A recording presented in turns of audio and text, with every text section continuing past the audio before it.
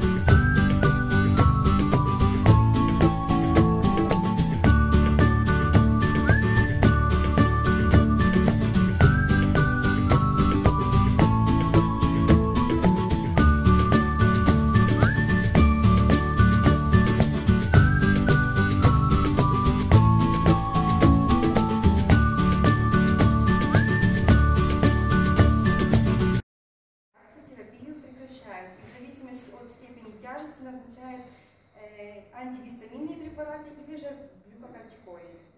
При температуре назначают жаропонижающие средства.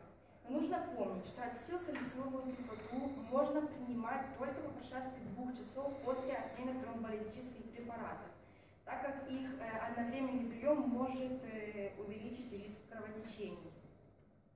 Кроме этого, от лечения тромболитическими средствами стоит воздержаться при ряде заболеваний, таких как туберкулез легких в стадии обострения, язва желудка и двенадцатиперстной кишки, острый, острый панкреатит, воспаление миокарда, опухоли центральной нервной системы, сепсис и артериальная гипертония.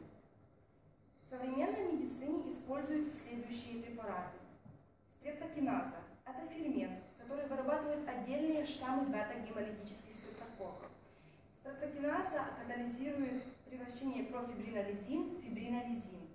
Стрептокиназа является антигеном, поэтому вызывает синтез антител, количество которых увеличивается с каждой новой дозой препарата, в результате чего фармакологическая активность лекарственного средства снижается.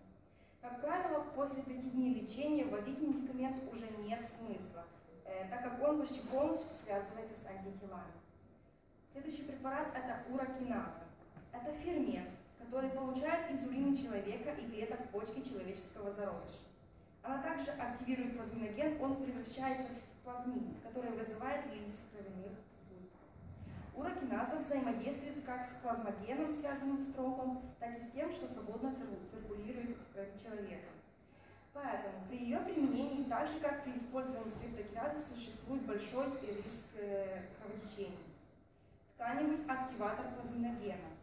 Это протеолитический фермент, который имеет сходство с активатором плазминогена, который вырабатывается эндотелием сосудов.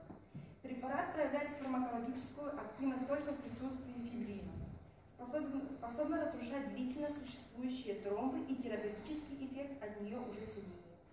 Схему лечения в каждом конкретном случае подбирают индивидуально и в зависимости от локализации тромба и степени тяжести заболевания. Э, благодаря применению фибринолитической терапии спасены миллионы жизней людей. Поэтому при малейшем подозрении на наличие тромбов в вашем организме стоит как можно быстрее лечь в больницу и начать лечение. Спасибо за внимание.